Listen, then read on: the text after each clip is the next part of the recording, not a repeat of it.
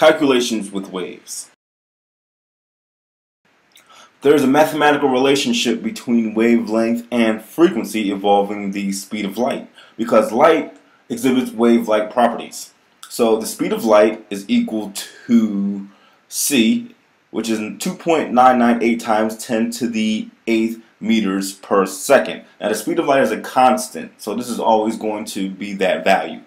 Wavelength is represented by the Greek letter lambda, which looks like an upside down y, and frequency will denote that by the variable f. Now the mathematical relationship between light, wavelength, and frequency is this. The speed of light equals wavelength times frequency.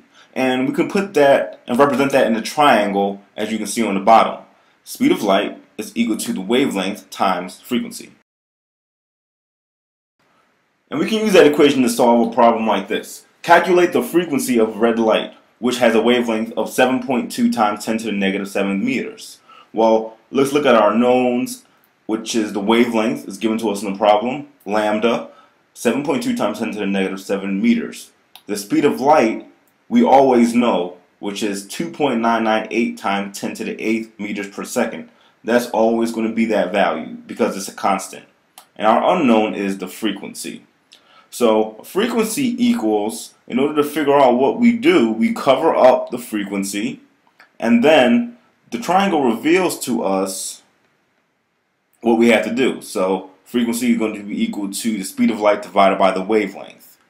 So that is equal to 2.998 times 10 to the 8th divided by 7.2 times 10 to the negative 7th and our answer is 4.16 times 10 to the 14th hertz because the unit for frequency is hertz. Let's calculate the wavelength of ultraviolet light that has a frequency of 4.3 times 10 to the 16th hertz. Let's look at our knowns and our unknowns.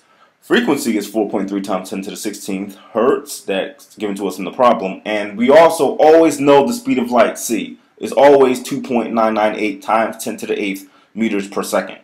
Our unknown is the wavelength, lambda.